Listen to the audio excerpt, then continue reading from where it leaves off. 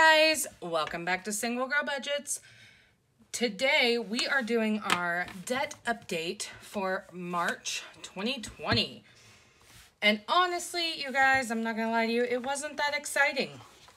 I didn't pay anything off, I didn't pay any extra, but I'm still making progress. Also, I picked up these super huge paper clips from Tuesday morning and I am loving them and I am using them to mark where I am in all of my little books.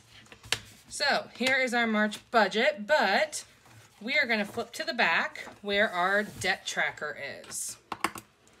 I'm gonna pull this out. I feel like that's gonna bug me. We'll just push it up there.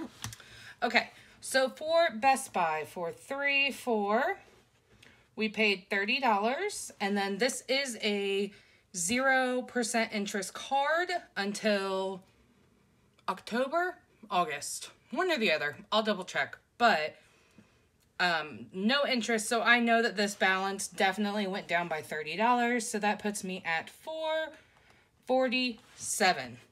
Woohoo! We're getting there slowly but surely.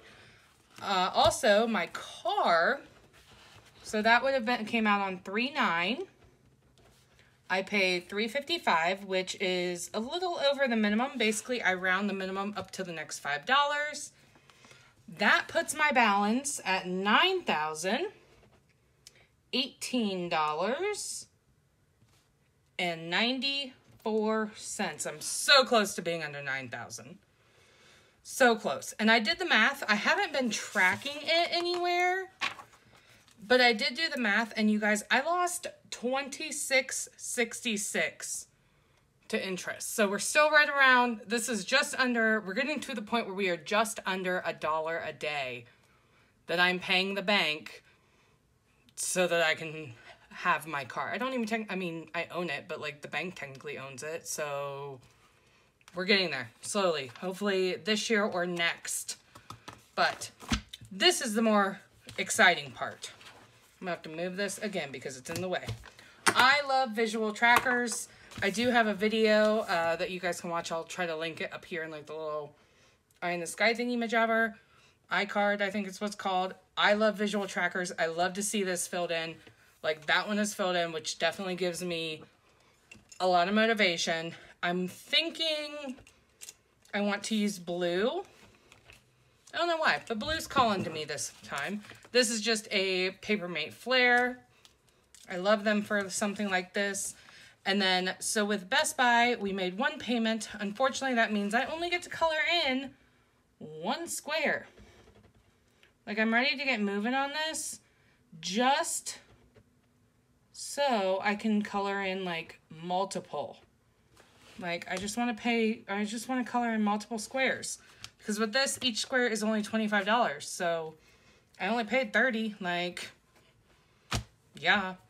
With my car loan, I do actually get to cover in three.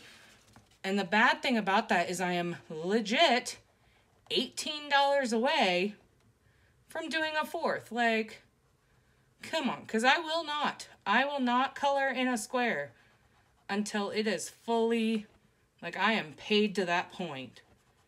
I need to get, I should probably use a different, like, marker for this. Because these just take, like, they're such a fine tip. They take forever. But I know you guys are like right there with me, rooting me on. Also, this paper, not the best sticker paper to use for coloring. but that is where we stand right now, guys. So nothing really exciting, but we're making progress, right?